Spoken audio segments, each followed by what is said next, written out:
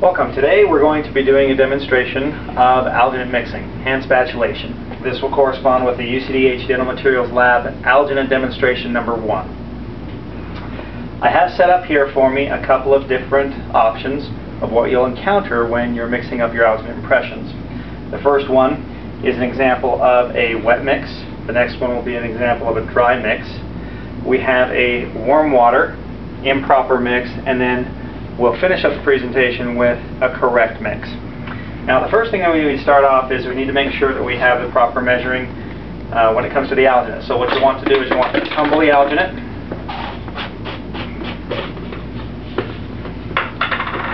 We're using a beaver tail spatula to hand spatulate. You can use any spatula, but what you want to do is you don't want to do an uneven or an unmeasured scoop. You want to make sure that you tap a little bit on the handle. Can even tap a little bit through the alginate itself and then level it off and place it in your bowl.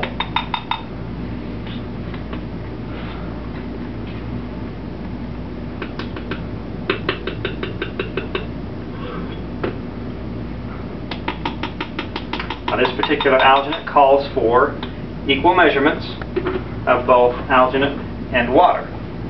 And so in the wet mix, we have a little bit more water. I'll demonstrate what happens in the wet mix.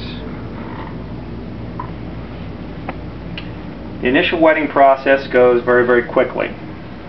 All the dry spots in the alginate you'll see disappear, but the alginate is left with a very shiny sheen and kind of a chunky look to it. What happens is as you mix, you'll notice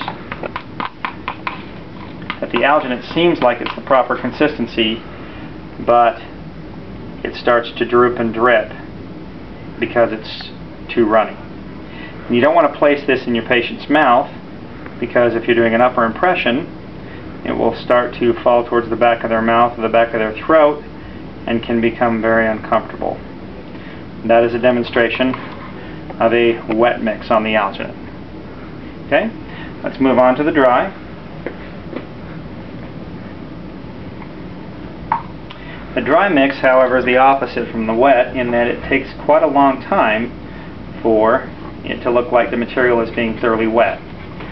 And so as you continue to stir any of the moisture into the mix, you will see that it has a very powdery look to it and a very chunky look to it, and it will not go smooth at all.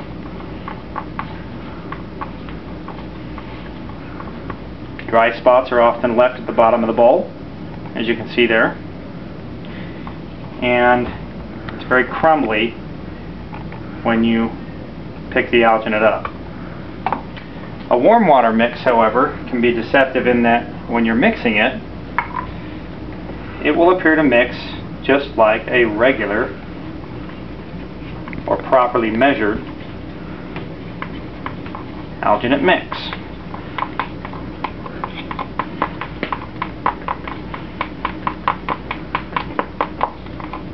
It appears very smooth, very creamy, and can be scooped up onto your spatula very nicely without dripping off.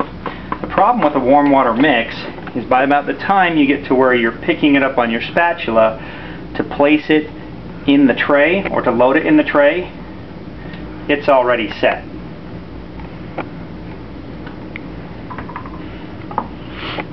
Improper mixing,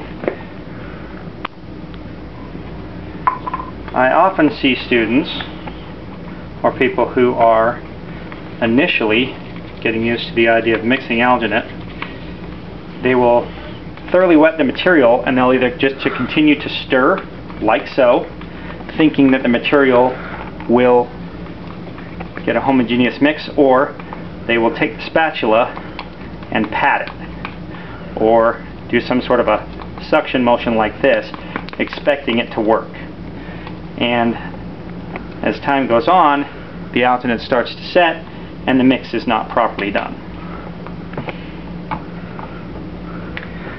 When we get to the correct example, we have filled the water measurement up to three measures of water with only two scoops of alginate. The reason we've done that is we are going to pour out to the first measurement so that we have some water left over that we can dip our finger in to put a moisture barrier on the impression. So we will fill up to the third line, pour out to the first,